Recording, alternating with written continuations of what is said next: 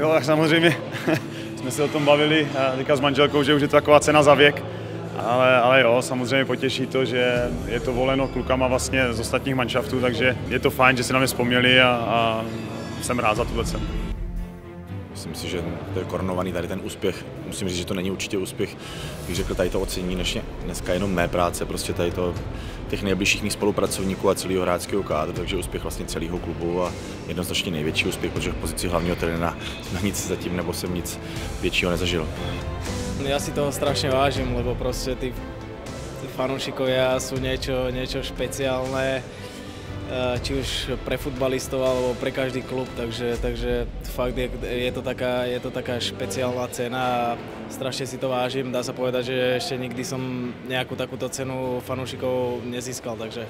takže je to poprvýkrát a ja pevne verím, že nie naposledy. Ale tak asi z toho osobního hlediska je to samozřejmě zatím nejvíc, co jsem dosáhnul a jsem za to strašně rád, ale samozřejmě vím, že, že to ocení je i závazek do další práce a do další sezóny, protože vždycky, vždycky je těžší, těžší ty pozice obhájit, než, než se tam jednou vyhoupnout.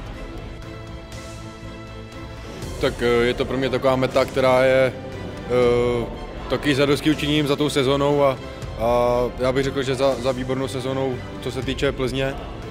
všech kluků prostě a, a bez, nich, bez nich bych ty vlastně goly ani nedal, takže vlastně si můžu poděkovat, tak děkuji jim a, a celý Plzní prostě.